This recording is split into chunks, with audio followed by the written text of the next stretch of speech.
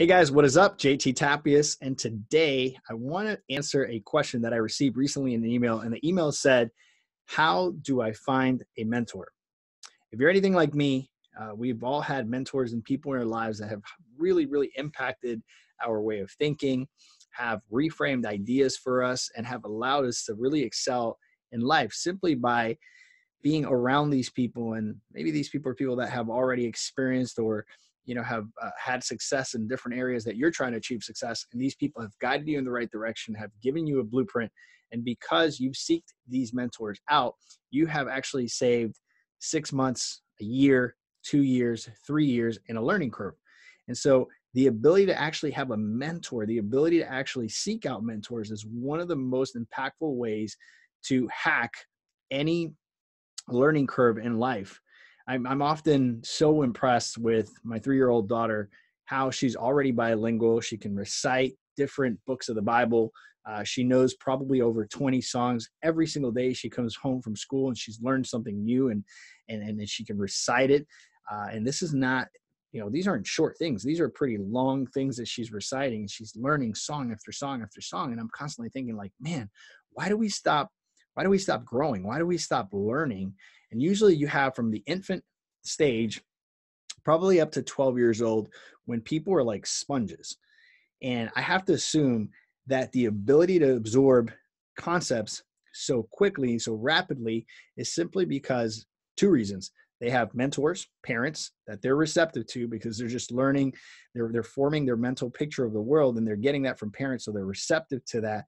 Um, they, they, they need to depend on parents. They lean on parents. They listen to parents probably up to the age of 12. After that, things get a little difficult, but they're super receptive and they stay curious. Curiosity is is is one of the things that we see in kids is is so prominent, right? We see that kids are super super curious about things and because of that they're constantly learning they're constantly moving they have parents also that keep them accountable to school to the things they're learning um, parents are giving them feedback on specific things. And because of that mentorship and that curiosity and that accountability, people learn at a tremendous rate. So in my mind, I'm trying to think, you know, how do I mimic this? How do I model this pattern so that I can continue to learn ongoing? I don't have to just stop at 12, but by the time I'm 50, I'm still uh, absorbing and, and, and, and bringing in concepts like a sponge. How do I do that? And one of the ways to do that, and one of the, the, the ways that I, I believe that we continue to grow and expand as human beings is by having mentors in our lives. And so, how do we find a mentor, right? I seek out mentors in all different areas of life. I have one specific person that I go to for most of my matters, but then I have other little things in life that I seek specific people out because they they've already done it. They've been in the trenches um, you know, they are people that are actually living what I would like to live out. They're experiencing what I would like to experience in a certain area. So I seek those people out. So one of the best ways to to do that is to basically look at look look for people that are doing the thing that you want to do, right? And mentorships sometimes are paid mentorships, depending on the area of expertise that you're looking for. I would say if it's a stranger, and it's someone that's out there in the public eye, most likely they're going to require some form of payment. That could be money, or that could be uh, you can go and work for that person for free and offer your work for free simply because you want to shadow, you want to learn. And that's another way to uh, pay for mentorship. I know that high end mentorship, when you're trying to actually uh, obtain some kind of qualifications, uh, you're trying to learn from someone that's actually out there making money from their expertise, those people usually charge and they charge a lot of money. I've heard of mentorships of up to $200000 a year depending on what it is you're trying to do. But the promise there is that the return on investment is going to be tenfold because these people have been in the trenches they've made the mistakes uh, they've had all the hard times uh, trying to figure things out for themselves and now they're going to pass that information on to you and so they charge large amounts of cash and depending on what you're trying to do that may or may not be uh, worth it for you. What I will say is this there are so many people out there that have a good heart that simply want to see you do well, they want to see you excel, and they're willing to mentor you completely for free.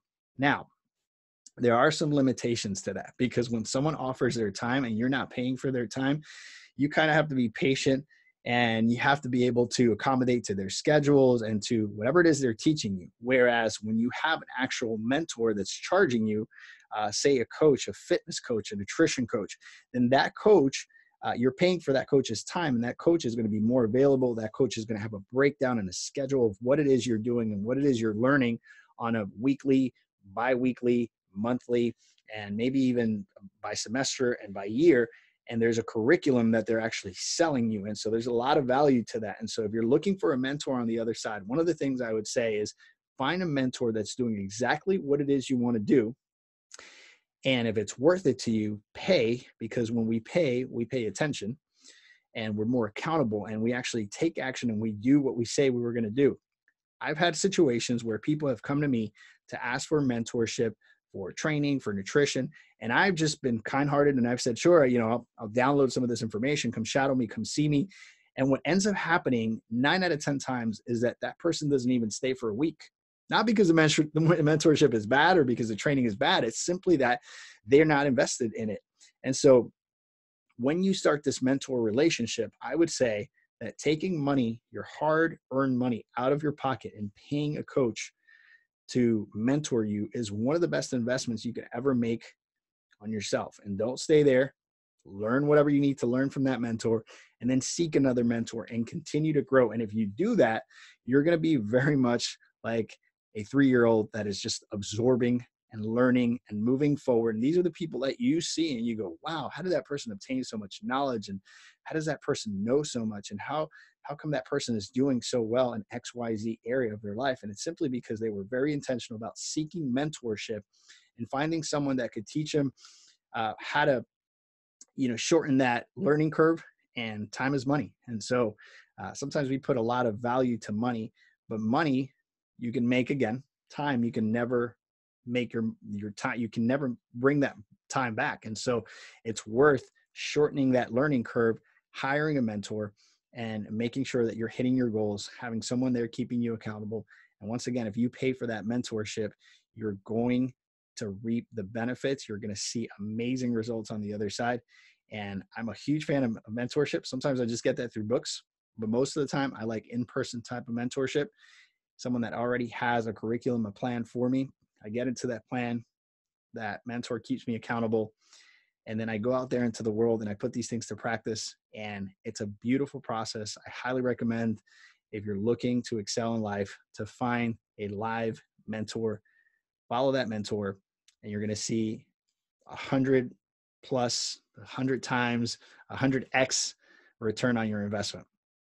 So I hope you got something out of this. This is JT. Subscribe to our YouTube channel. We're constantly putting up different subjects and talking about fitness, mindset, nutrition, and all different hacks in life that allow you to excel at at an accelerated rate. So if you're looking for more of this information, click the link below and we'll see you soon.